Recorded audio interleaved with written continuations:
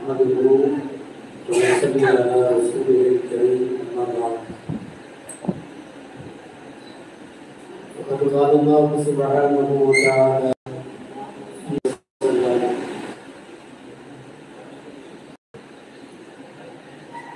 அளவற்ற அருளாளரும் நிகழ்ச்சி அன்புடையவருமாகிய எல்லாம் அல்ல அல்லாஹ்வின் பெயரால் போகிறேன்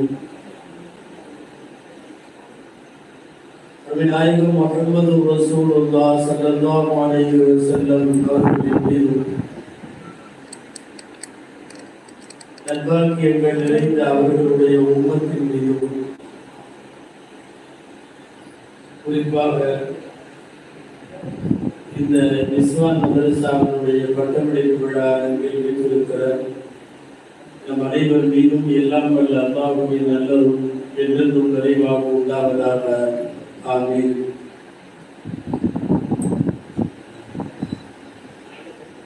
அன்னை ஆயிஷா பெண்கள் மதரசாவினுடைய பட்டமளிப்பு விழாவினுடைய இந்த நிகழ்வுக்கு தலைமையேற்றிருக்கிற தலைவர் முன்னிலை வகிக்கக்கூடிய புதுக்கட்டை மஸ்ஜித் மஹமூதினுடைய கணியத்திற்குரிய நிர்வாகிகள் இங்கே தொடர்ந்து வாழ்த்துறைகளும் சிறப்புரைகளும் தர இருக்கிற சென்னைக்குரிய உலமா பெருமக்கள் இந்த நிஸ்வான் மதரசாவினை ஒழுங்குபடுத்தி நெறிப்படுத்தி ஒருங்கிணைத்து நடத்தி கொண்டிருக்கக்கூடிய அன்பு சார்ந்த நிர்வாக பெருமக்கள்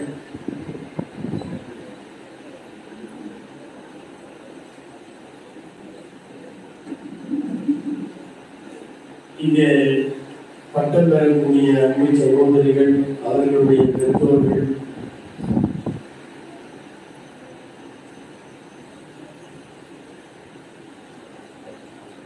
அரிமா சங்கத்தினுடைய முன்னாள் நிர்வாக பொறுப்பாளர் அரிமா சாய வேணுகோபால் அவர்கள் இங்கே வருகை தந்திருக்கிற பெரியோர்கள் தாய்மார்கள் சகோதரர்கள் உங்கள் அனைவருக்கும் என் ஆரம்பமான அஸ்லாம் அலைக்கும் வரஹ்மத்துல்லாஹி வபரகாத்துஹு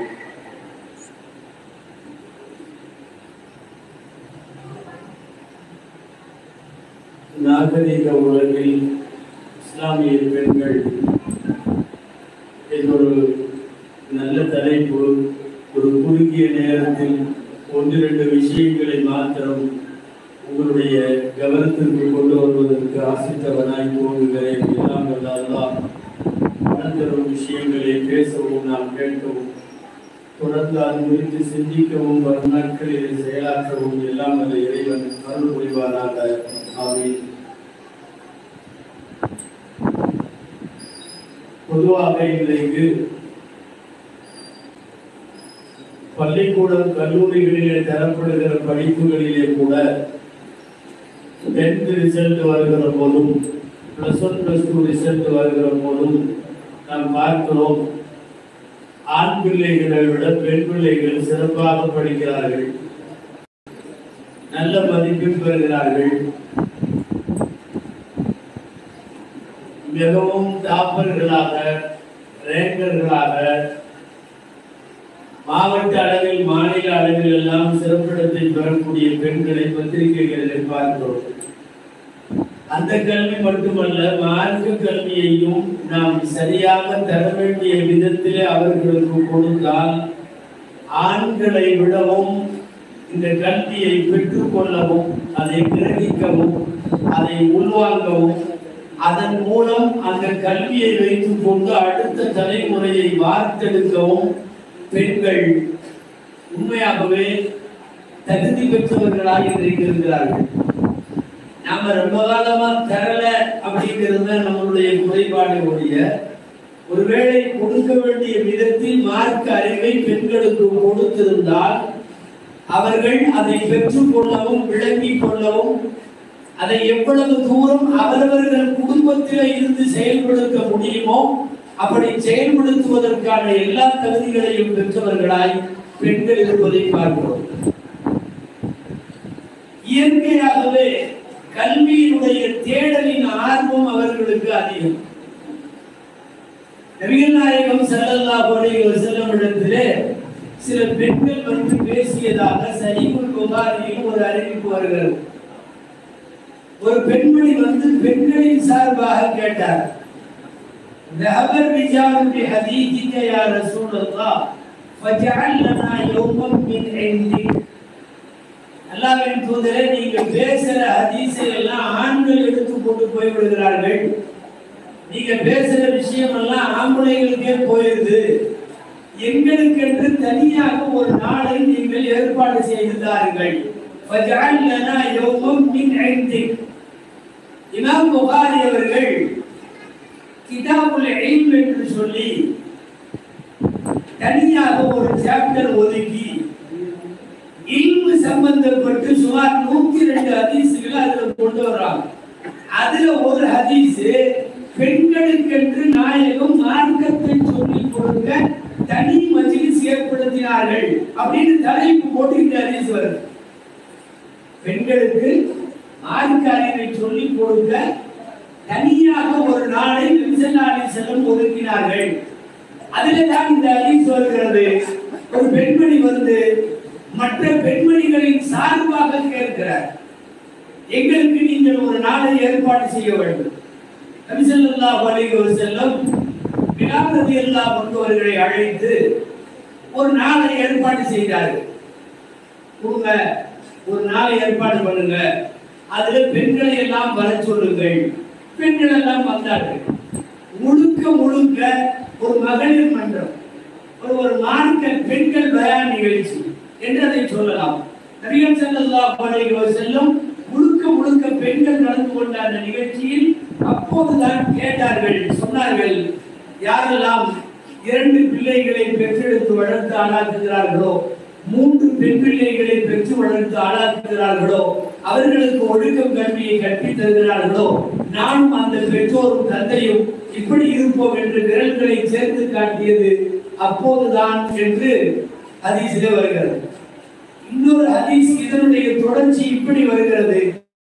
மாமிக்குண்டமின் இம்ராத்தின் துபத்தி முதலாட்டத்தமிழ் வலதி யாருக்காவது இரண்டு மூன்று குழந்தைகள் தொடர்ந்து தங்காமல் வபாத்தாக இருந்தால் அந்த குழந்தைகள் எப்படி பெற்றோருக்கு நாளை வறுமையிலே நரகம் செல்ல விடாமல் சொர்க்கத்தில் கொண்டு போய் சேர்க்கும் என்பது குறித்து நடிகர் செல்லல்லா பணிகள் செல்லும் அந்த சபையிலே பேசினார்கள் என்று வருகிறது. இதுவெல்லாம் மார்க்க அறிவை தெரிந்து கொள்ள ஆண்களுக்கு மாத்திரமே ஏன் கல்வி? பெண்களுக்கும் தர வேண்டும் என்று ரசூலுல்லாஹி ஸல்லல்லாஹு அலைஹி வஸல்லம் அவர்களிடத்திலே பெண்கள் சார்பாக வந்து கேட்கப்பட்டு ரசூலுல்லா அதற்கு பதில் கொடுக்கும் விதமாய் தனி ஒரு அரங்கத்தை ஏற்பாடு செய்து நபி ஸல்லல்லாஹு அவர்களுக்கு என்று விளக்கினார்கள் என்று பார்க்கிறோம். இங்கே அநேகமாய் பட்டம் பெறுகிற சகோதரிகள் அவர்களோடு அவர்களுடைய பெற்றோர்கள் தாய்மார்கள் எல்லாம் நிறைய இருக்கிறீர்கள் என்று நினைக்கிறோம். நிறைய இருக்கிறது மட்டுமல்ல இங்க பேசுகிற விஷயம் கேட்டு இருக்கிறீங்கன்னு நினைக்கிறோம். முக்கியமாக தாய்மார்கள் சொல்ல வேண்டிய செய்திகள் நிறைய உண்டு. ஹதீஸ்ல பார்த்தா உலக இன்பங்களில் எல்லாம் ஆக சிறந்த இன்பம் பெண்கள். அப்படின்னு உச்சகட்ட பாராட்டும் வந்திருக்கு மறுபக்கம் நரகத்தில் நான் அதிகமாக அவர்களை பார்த்தேன் மோசமான பட்டமும் வந்திருக்கிறது. ஒரு பக்கம் உயர்ந்த பாராட்டு மறுபக்கம் இவர்கள் அதிகமாக அங்கே இருக்கிறார்கள். நாம் புரிந்து கொள்ள வேண்டும் மார்க்க நெறிகளின் பிரகாரம் நடக்கிற பெண் வாய்க்கப்பெறுகிற போது உலகத்தினுடைய இன்பங்களில் எல்லாம் சாலிகான மனைவி அமைப்பதை விட சாலிகான ஒரு பெண் நம் வீட்டிலே இருப்பதை விட சிறந்த பாக்கியம் உலகத்திலே எதுவும் இல்லை. ஆனால் பெண்களிடத்திலே வரக்கூடாத தகாத செயல்களால் இவர்களின் பார்வை மாறுமானால் அது நாகரிகம் என்ற பெயராலோ நவீன கலாச்சாரங்கள் என்ற பெயராலோ அல்லது உலகம் மாறுது நாங்களும் அது தோதுவா மாறுகிறோம் அப்படிங்கிற மாதிரி போற போக்கினாலேயோ இருந்தால் இந்த இரண்டாவது ஹதீஸ் சரியாக போய்விடும் அதிகமாக நரகத்திலே நான் பார்த்தேன் என்கிற வார்த்தைக்கு அதிகமாகிவிடும். எனக்கு நவீன காலத்தினுடைய பெண்களை பத்தி பேசுங்கன்னு சொல்லியிருக்கிறாங்க அதற்கு எனக்கு பின்னாடி முன்மாதிரி முஸ்லிம் பெண்கள் அப்படி இப்படின்னு எல்லாம் நிறைய உடமாக்கள் இன்ஷால்லா நிஸ்வானுடைய பொறுப்புதாரிகள் அஹ், நம்முடைய தலைமை மாவதற்கு எல்லாம் பேசுவாங்க. நாகரிக உலகத்தில் பெண்களினுடைய சூழ்நிலைகளை பார்க்கிறோம் ரொம்ப யாராவது முற்போக்கு சிந்தனையில் இருந்தா கொஞ்சம் அவங்க கோவிச்சுக்க வேணாம். வெட்கம் குறைந்து போய் வருகிறது. வெட்கம் இல்லாமல் இருப்பதை முற்போக்கு என்கிறார்கள். முழுக்க முழுக்க அது தவறான கல்வி வெட்கம் இல்லாம ஒரு பொம்பளை இருந்தா வெட்கமும் நாணமும் இல்லாமல் ஒரு பெண் இருந்தால் அவன் தான் பிற்போக்காளர். இன்னைக்கு எவ்வளவு தூரம் ட்ரெஸ் குறைக்கிறாங்களோ அவ்வளவு பொறுப்பு. எவ்வளவு தூரம் வெளியில சுத்துறாங்களோ அவ்வளவு தூரம் முற்போக்கு எவ்வளவு தூரம் அவர்கள் மார்க்க நெறி பிரகாரம் எல்லாம் வாழாமல் இருக்கிறார்களோ தொழாமல் இருக்கிறார்களோ அவரோடு நம்மோடு தொடர்பில்லாமல் இருக்கிறார்களோ அதுவெல்லாம் முற்போக்குன்ற மாதிரி ஒரு தவறான கற்பிதம் பரவிருச்சு வெட்கமும் நாணமும் பெண்ணிற்கு அணிகலன். அது வந்து மார்க்க பார்வை மட்டுமல்ல இந்த மண் சார்ந்த மரபும் அல்ல. அதையெல்லாம் தூக்கி வீசிட்டு நாங்க அந்த நாட்டு பொம்பளைங்க மாதிரி இருக்கோம் இந்த நாட்டு பொம்பளைங்க மாதிரி இருக்கோம் எல்லாம் போனா வேற மாதிரி ஆயிடும். நீங்க கேள்விப்பட்டிருக்கலாம். ரஷ்யா ஒரு மிகப்பெரிய வல்லரசான நாடு. முதல் உலக போர்ல ரொம்ப மோசமா பாதிக்கப்பட்டிருக்கு ரஷ்யா.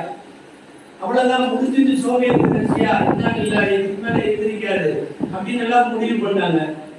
அப்ப அதிபராக ஒரு கம்யூனிஸ்ட் சித்தாந்தத்தினுடைய பெரிய ஆள் மிகைல் கார்பரேஷன் சொல்லு அப்ப நல்ல மனுஷன் அவர் சொன்னாரு இனிமேல ஆம்பளைங்க மட்டும் நம்ம நாட்டுல வேலை பார்த்தா பார்த்தாது பொம்பளைங்கெல்லாம் சேர்ந்து வேலை பார்த்தா தான் நாட்டினுடைய ப்ரொடக்ஷன் கூடும். அதன் வழியா சர்வதேச மார்க்கெட்டிங் எல்லாம் பண்ணி மீண்டும் பண்ணரசு ஆகணும் அதனால நாம வந்து இதை எப்படியாவது உயர்த்தியாகும் பொம்பளைங்க எல்லாம் வெளியே வாங்கன்னாரு எல்லா பொம்பளையும் வெளியே வந்தாங்க. ஆண்கள் மட்டுமல்ல பெண்கள்.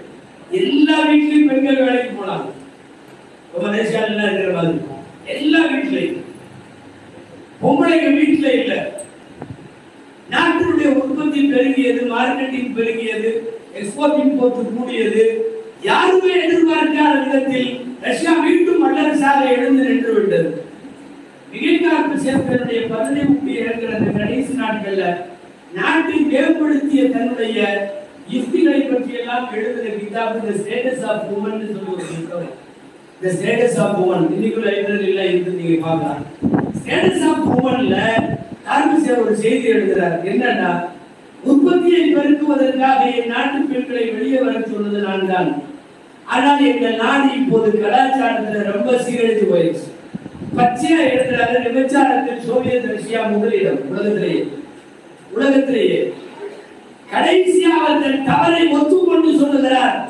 பெண்களை பார்த்து கூப்பிட்டு சொல்லுகிறார். கோபேக் பேக் டு ஹோம் நீங்கள் வீட்டிலிருந்து திரும்பி செல்லுங்கள். தயவு செய்து நீங்க வெளியே வர வேண்டாம். என்னுடைய நாட்டு என்னுடைய நாடு ஏழையாக இருக்கிற ரஷ்யாவை கூட என்னால் சகித்துக் கொள்ள முடியும். ஒழுக்க கேடான ரஷ்யா எங்களுக்கு தேவையில்லை. பாடத்துக்கு அவர் வர்றதுக்கு அவருக்கு ரொம்ப லேட் ஆயிருக்கு ரொம்ப எல்லாத்தையும் வெளியே வர வச்சு சுத்த வச்சு நாடு நாடு போனதுக்கு அப்புறம் சொல்றாரு தயவு செய்து வீட்டுல உள்ள அத்தனை பேரும் வேலைக்கு வந்துட்டா வளர்கிற தலைமுறையின் ஒழுக்கம் கெட்டு போகும். இது எந்த வகையிலும் சாத்தியப்படாது. எங்களை பொறுத்தவரை அவர் கார்பசேவ் எழுதுகிற வாசகம் பணமில்லாத ரஷ்யா என்பதை கூட நான் சகித்துக் கொள்வேன். ஒழுக்கம் இல்லாத ரஷ்யா என்பது கேவலமாக இருக்கிறது இவ்வளவு தூரம் வெட்கக்கேடாகவும் ஒழுக்கக்கேடாகவும் ஆடல் பாடலாகவும் அரைமுறை ஆணையாகவும் நினைத்தவர்களோடு ஊர் சுற்றுவதும் நினைத்தவர்களோடு திருமணம் செய்யாமலேயே வாழ்வதும் இதெல்லாம் சமீப காலமா கொஞ்சம் கொஞ்சமா கொஞ்சம் கொஞ்சமா இத வந்து சரின்னு சொல்லிட்டு வரலாம். இன்னைக்கு பேர் முற்போக்குன்னு வச்சிருக்கான் நல்லா பாருங்க. பிற்போக்கு. முதல்ல இங்க எது முற்போக்கு எது பிற்போக்குன்னே தெரியாம இருக்கான். முன்னாடி எழுத்தாளர் ஜெயகாந்தன் ஒருத்தர் இருந்தார். நல்ல எழுதுறது கதைகள்லாம். முற்போக்குக்கும் பிற்போக்குக்கும் ஒரு இடத்துல அவர் விளக்க எழுதுறார். ஒரு ஏழை பெண்ணினுடைய கிழிந்து போன ரவிக்கை தெரிகிறது சதை தெரிகிறது. அதை பார்த்து விட்டு குடும்ப வறுமையும் இரக்கமும் உன் நினைவுக்கு வந்தால் நீ ஒரு முற்போக்கு எடுத்தாள் அது அல்லாம தெரிகிறது சதையா தெரிஞ்சிச்சுன்னா ஒண்ணு விட கேடு கட்டவன் யாரும் இல்லை. எது முற்போக்கு எது பிற்போக்கு தெரிகிறதா? ஆடையை கழற்றுவதை அல்லது கூடுமான வரை தன் ஒழுக்கத்தை குறைத்துக் கொள்வதை முற்போக்கு என்று பேசுவது முட்டாள்தனம். இன்னைக்கு அந்த வேலை தான் நடக்குது. யாரு கூட வேணாலும் சுத்துங்க யாரு கூட வேணாலும் பேசுங்க. இந்த அது இது கல்யாணம் ஒருவனுக்கு ஒருத்தி ஒருத்தி அது இந்த இது எல்லா வரன்களையும் மீறுங்க. இதெல்லாம் இன்னைக்கு வந்து நவீன பெண்ணியம் பெமினிஸ்டுகள் இன்னைக்கு நிறைய பெண்ணியம் பேசுகிறார்கள். இந்த பெண்ணியத்துல இன்னொரு வார்த்தை சொல்றாங்க. இது தெரியாதவங்க தெரிஞ்சுக்கணும். பின்னவீனத்துவம்னு ஒன்று சொல்றாங்க. அதாவது எவ்வளவு பெண்கள் சார்பாக அத்துமீறல் இருக்குமோ அந்த அத்துமீறலை பூரா செய்யறது. இன்னும் நல்லா சொல்ல போனா அதுக்கெல்லாம் வடிவந்தர நிகழ்ச்சிகள் எல்லாம் இன்னைக்கு நடக்கிற பிக் பாஸ் மாதிரி உள்ளதுதான். தாய்மார்கள்லாம் தயாரா இருக்காங்க. ரெடியா. எப்ப போடுவோம்? எப்ப பார்ப்போம்? யார் உள்ள போறா? யார் வெளியே வர்றா? இந்த நூற்றாண்டினுடைய கந்தராவி காட்சிக்கும் நாங்கெல்லாம் முதல்ல இந்த மெகா சீரியலை பத்தி கண்டித்து பேசிட்டு இருந்தோம். ஏமா இப்படி எல்லாம் பாக்குறீங்க? இந்த கதையெல்லாம் விளங்குமா? அதா இல்லான்னு மெகா சீரியல் எல்லாம் நூறு மடங்கு பரவாயில்லைங்கிற ஆயிடுச்சு. இப்போ வந்திருக்கிற இந்த மோசமான பிக் பாஸ் நிகழ்ச்சி எல்லாம் பக்கத்து வீட்டு படுக்கையறையே எட்டி பார்க்கிற வேலை தெரியுமா? அது பேர் பிக் பாஸ். ஒரு பொண்ணுக்கு என்னவெல்லாம் பண்ணா கோபம் வரும் என்னவெல்லாம் பண்ணா சந்தோஷம் வரும் அது பேர் பிக் பாஸ். அறுபது கேமராவை வச்சுக்கிட்டு ஒரு அறைக்குள்ள எவ்வளவு தூரம் அசிங்கத்தை காட்ட முடியுமோ அவ்வளவு காட்டுறதுக்கு பேர் பிக் பாஸ். இன்னைக்கு இது வேகமா இருக்கு. இது தொடங்குச்சுல்ல அது இங்க அதிகமா தெரிஞ்சவங்க இல்ல போல இருக்கு. அது தலையாட்டி மாட்ட வேணாம்னு நினைக்கிறாங்க போல மும்மரமா போயிட்டு இருக்குது முதல்ல அவ்வளவு மோசமான ஒரு நிகழ்ச்சி. ஆமாவா பதினெட்டு வயசு இருபது வயசு இந்த பிள்ளைகளுடைய அந்தரங்கங்கள் காட்டப்படுகிறது. இருபது வயசு பொண்ணு சிகரெட் குடிச்சுட்டு உட்காந்துருக்கான் நம்ம குடும்பத்தோட உட்காந்து பார்த்துட்டு இருக்கோம். நம்ம வீட்டுல நம்ம புள்ள அதை பண்ண நம்ம ஒத்துக்கோமா நம்ம வீட்டுல நம்ம புள்ள இப்படி ஒரு மேலும் தோடும் தெரிகிற மாதிரி ஒரு ட்ரெஸ்ஸை போட்டு அடுத்த ஆம்பளை கூட உரசி போ- இல்லையா நான் சொல்றது சாம்பிள் உலகம் முழுக்க பெண்களை மோ- மோகப் பொருளாக்க ஆபாச பொருளாக்க அத்துமீறலாக கொண்டு வர பெண்ணை பொறுத்தவரை அவள் போகப் பொருள் மட்டுமே அவள் ஆபாச பொருள் மட்டுமே அவள் சதை மோகத்திற்கானவள் மட்டுமே என்கிற ஒரு ஊர்ஜிதம் பேர் என்ன தெரியுமா பெண் சுதந்திரம்ங்கிற பேர்ல இதெல்லாம் கொண்டு வர்றான் இன்னைக்கு அதிகம் நடக்கிறது நவீன காலத்து பெண்களை சொல்லுகிற போது நாம இந்த நவீன காலத்துல இதெல்லாம் சொல்லாம இருக்க முடியல. இதை அடுத்து மிகப்பெரிய அத்துமீறல் காதல் போன்ற பெற்றோரை மீறிய உறவுகளை மீறிய செயல்களில் ஈடுபடுறது நீங்கெல்லாம் ஒரு பப்ளிக் மேடைகள்லாம் அதை பேசிட முடியல. ஏன்னா காதல் அவ்வளவு புனிதமாக்கிட்டாங்க அது காதல் பண்ணிடணும் பண்ணிட்டு பெற்றோரை மீறி ஊரை மீறி உறவுகளை மீறி உன்னுடைய பண்பாடு கலாச்சாரம் எல்லாத்தையும் மீறி நீ வெளியே போ. அப்போ நீ புரட்சி பெண். யாரு புரட்சி பெண் யாரும் புதுமை பெண் ஒரு இருபது வருஷமாக வளர்த்த தாயையும் தந்தைக்கும் துரோகம் செய்துவிட்டு சமீபத்தில் எத்தனை காணொளிகள் முகநூல்களிலே வாட்ஸ்அப் தளங்களிலே அல்லாஹ் சகிக்க முடியல பேரண்ட்ஸ் அழுகிறாங்க. கால பிடிச்சி நெஞ்சுறாங்க பேரண்ட்ஸ் சில வயது பெண்களிடம் எனக்கு நீ தேவையில்லை நான் அவனோடு போகிறேன். அம்மாவையும் அத்தாவையும் அப்பாவையும் கதற வச்சுட்டு நீ போதைய உன் வாழ்க்கை உருப்படுமா? உருப்படுமா? பெற்றோர் அழ வேண்டிய அவசியம் இல்லை. மனசு லேசா வருந்தினாலே போதும். வாழ்க்கை மோசமாகிவிடும். சாபத்திற்குரியதாகிவிடும். அனுமதிக்கப்பட்ட மாதிரி செய்யல. அது என்னமோ தெரியல. தமிழ் அகராதியிலே எழுதப்படாத ஒரு அகராதி என்னன்னா கல்யாணத்துக்கு பின்னாடி ஒரு கணவன் மனைவியை காதலிச்சா அதுக்கு ஒரு காதலை ஒன்றும் எது காதலாமா கல்யாணத்துக்கு முன்னாடி பண்ணணும். அதுவும் ஊர் உலகத்துக்கு தெரியாம சுத்தணும். அதுக்கு பேரு காதல். இஸ்லாம் காதலுக்கு எதிர்ப்புலாம் இல்லை. காதலை முழுமையாக ஆதரிக்கிறது. சின்ன வித்தியாசம் தான் கல்யாணம் ஆன உடனே நம்மளுடைய காதல் ஸ்டார்ட் ஆகும். கணவன் மனைவியை மனைவி கணவன். அதுதான் ஆத்தரைஸ்டான காதல் அதிகாரப்பூர்வமான காதல் அங்கீகாரமான காதல். அதுக்கு வந்து இருட்டு தேவையில்லை பீச் தேவையில்லை. அதுக்கு ஏதாவது ஒரு மரத்தடியும் பாருக்கு பின்னாடியும் தேவையில்லை. அதுக்கு ஒரு இருட்டான சினிமா தேட்டர் தேவையில்லை. பப்ளிக்ல எல்லாத்துக்கும் முன்னாடியும் அன்பொழுது இருக்கலாம் அதற்கு பெயர் உண்மையான காதல். இன்னைக்கு எல்லாம் சமீபத்தில் பறவை கொண்டு வருகிறது. எல்கேஜியில இருந்து கொண்டு போய் ஸ்கூல்ல விட்டு காலேஜில் விட்டு பொத்தி பொத்தி வளர்த்து தன்னுடைய பிள்ளை கெட்டு போகாமல் கால கோலத்தில் சீர்ழிந்து விடாமல் காப்பாற்றி கொண்டு வருகிற ஒரு தந்தைக்கு லேசா அவன் கூட ஒரு மாசம் பழகிட்டு ஒரே ஒரு லட்டு மூணு வரை எழுதி வச்சுட்டு கிளம்பிடுறான் மனசுக்கு பிடித்தவனோடு போகிறேன் என்னை தேட வேண்டாம். மனசுக்கு பிடிச்சவனோடு போறாளா என்னை தேட வேண்டாம். நீ ஒரு நாள் ஸ்கூல் விட்டு வர்றதுக்கு பத்து நிமிஷம் லேட் ஆச்சுன்னா இங்க தாய் பட்ட அவஸ்தை என்ன தந்தை பட்ட அவஸ்தை என்ன? நீங்க ஒரு முப்பது நாள் ஒருவரோடு தொடர்பு கொண்ட சதை மோகம் அல்லது வயதினுடைய கோளாறு உன்னை அவர்களுக்கு பிடிச்சவனோட போறேன்னா அந்த வீட்டுல இருக்கிறவங்க உனக்கு பிடிக்காதவங்களா? அந்த பெற்றோர் உனக்கு என்ன பாவம் செய்தார்கள்? இந்த நீண்ட காலத்து பெண்களிடம் இதுவெல்லாம் திரும்ப திரும்ப கேட்க வேண்டிய கேள்வி. அன்பிற்குரிய எனது தாய்மார்களே பொருளால் உங்களுக்கு சொல்லுகிற கட்டளை மூணு மூணு கட்டளை ரொம்ப சிம்பிள் ஒரு இஸ்லாமிய நெறி வாழ்கிற வாழுகிற பெண் அவள் எப்படி இருப்பாள் என்றால் அவளுடைய இந்த மூணும் இருக்கும். பார்வையை தாழ்த்துவாள் அவருடைய மறைவிடங்களை காலம் முழுக்க பாதுகாத்துக் கொள்வாள். அந்நிய தீண்டல் இல்லாமல் எந்த சிங்கலும் இல்லாமல். மூணாவது தன் அழகை எல்லோருக்கும் வெளிக்காட்டி கொண்டு அடைய மாட்டார். அவ்வளவுதான்.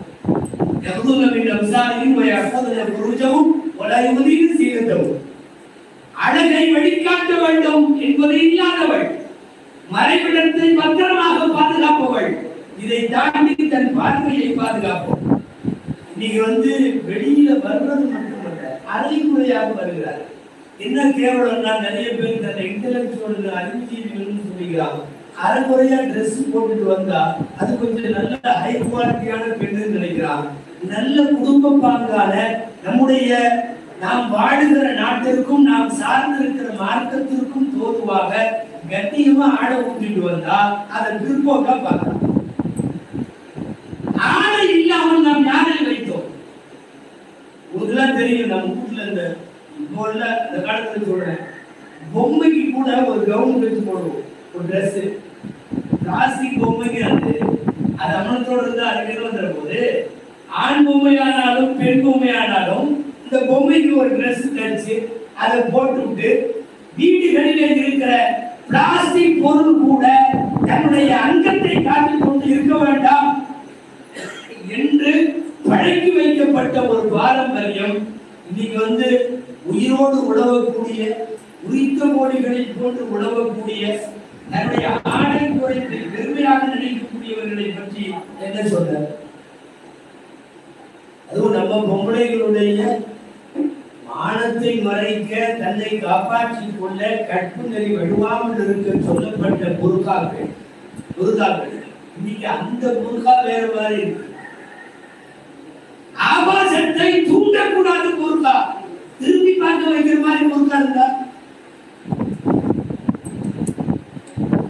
முன்னாடி காலேஜ் என்ற அல்லாம கிருநூறு அவர்கள் எதிர்கள் கவிமகன் அவங்க அவர்கள் அடிக்கடி சொல்வார்கள் ஒரு முருகா எப்படி இருக்கணும்னா கிழமையே குமரி வந்து கிழமை மாதிரி காட்டணும்.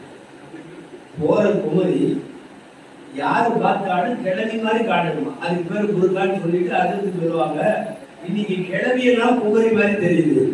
நான் இப்போ உள்ள குருகா அது அவ்வளவு டைட்டாக அவ்வளவு லேசாக அழகை காட்டுவதற்கென்றே உருவாக்கப்பட்டதை போலவோ ஆகிவிட்டது இதையெல்லாம் யோசித்து பார்த்தால் நவீன காலத்தினுடைய பெண்களும் பெரு- பெருகிக் கொண்டு வரக்கூடிய சூழ்நிலை இதுவெல்லாம். ஒட்டுமொத்தமாக சமுதாயத்தினுடைய எல்லோருடைய பத்துவாவுக்கு ஆளாகிற மாதிரி உள்ள இந்த கணிசனையான அருவறுப்பான அசிங்கமான செயல்களை செய்யக்கூடிய பெண்மணிகளை நாம் நிறைய அவர்களுக்கு கொண்டு போய் இந்த விஷயங்களை சேர்க்க வேண்டியது தாய்மார்களுக்கு சொல்லுகிறேன் இப்படியெல்லாம் வீட்டுல எல்லாம் எழுதி வச்சுக்கிட்டு யாரோ ஒருத்தர் கூட போறேன் எல்லாம் போன பெண்மணிகள். ஆய்வு நடந்திருக்கு நான் சொல்றது வெறுமனே சொந்த கருத்தல்ல. சும்மா ஏதோ தினத்தந்தியில வந்ததை மாத்திரம் சொல்லல. டேட்டா பேஸ் புள்ளி விவரம் என்ன தெரியுமா?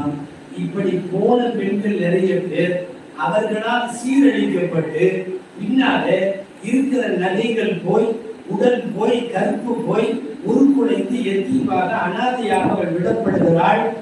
அந்த விரக்தி சூழ்நிலையில் இன்றைக்கு சமூகத்தில் நிறைய பெண்கள் இருக்கிறார்கள்.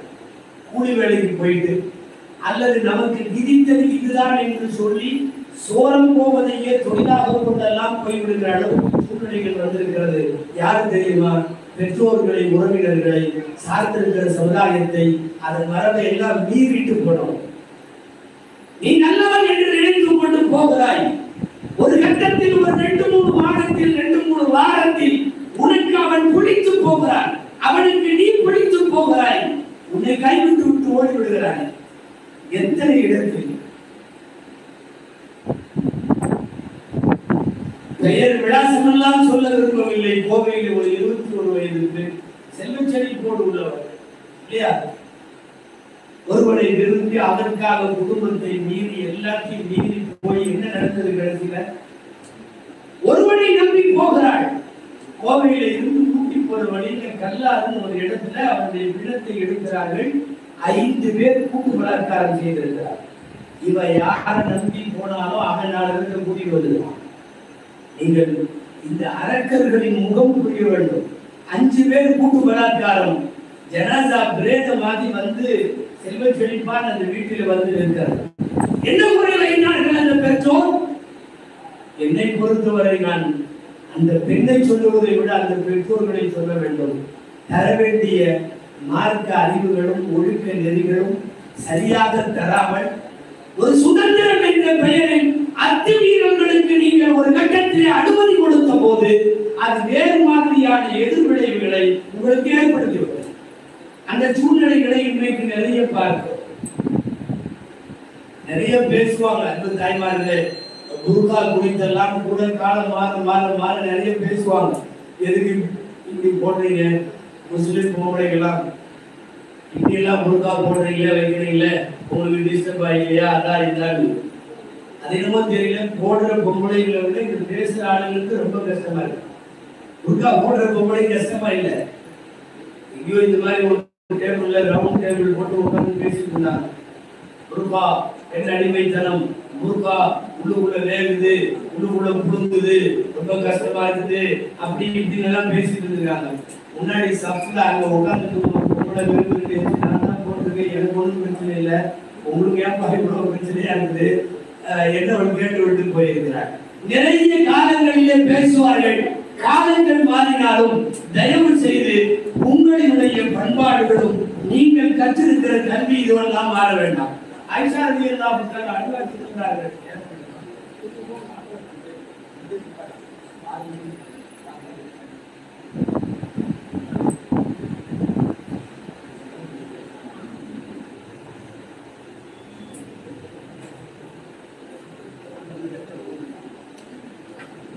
ஆயிஷா ரலியல்லாஹு தஆலா அன்ஹா சொல்லுவாங்க.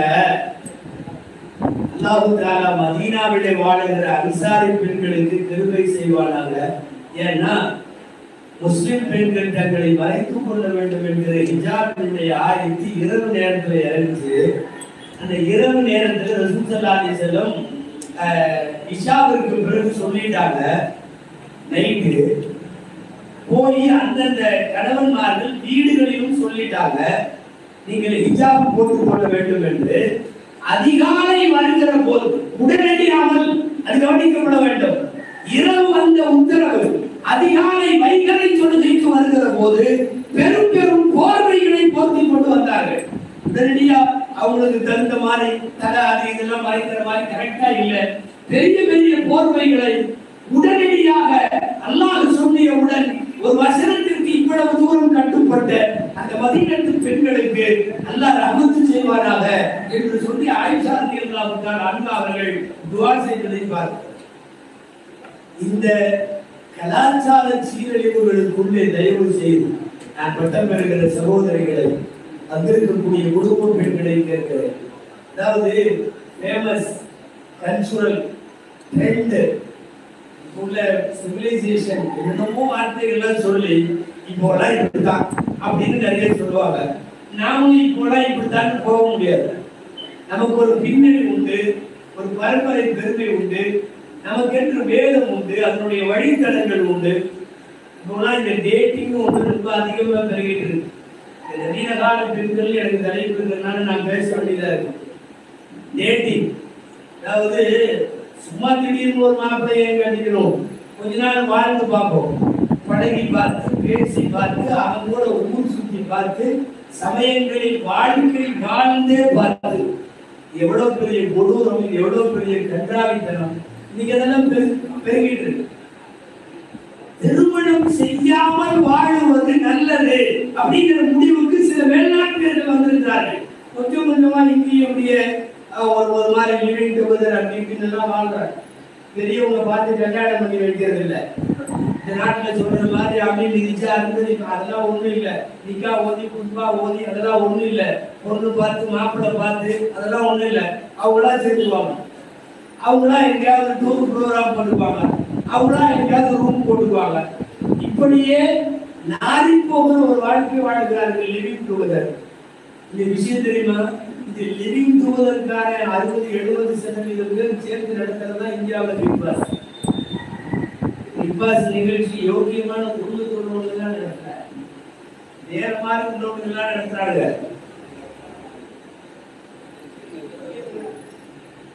முழுக்க முழுக்க எவ்வளவு தூரம் ஒரு பெண்ணை அவருடைய உடலை சண்டை